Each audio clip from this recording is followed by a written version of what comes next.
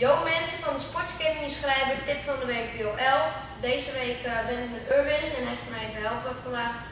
En ehm, we gaan een oefening doen, namelijk links, rechts, linkerhoek en een rechterhoek. Oké, we beginnen met de links-rechts. Dan hou ik mijn handen, allebei mijn handen bij mijn hoofd. En dan doe ik links. Als ik links doe, doe ik zijn rechter, doe ik mijn linkervoet. Dus doe ik een stapje erbij, zo links.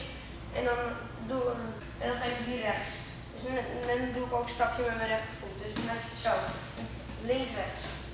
En dat doen we nu even vijf keer.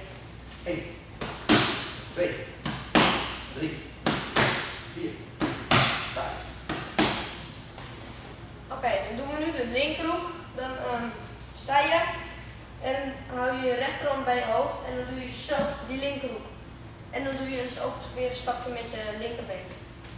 Die doen we nu ook even vijf keer. 1, 2, 3, 4 en 5. Netjes. Oké.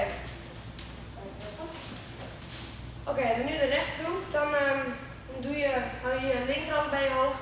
En doe je die rechterhoek en dan doe je een stapje met je rechtervoet. En dan ga je zo op de bal van je voet staan.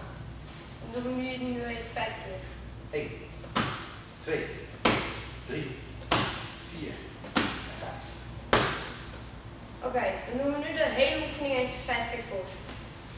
1, 2, 3, 4 en 5.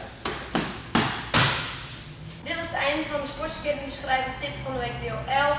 Ik bedank Urban nog even voor het helpen van deze video. Ehm, hier beneden zie je de website, daar kan je ook even op kijken voor meer informatie.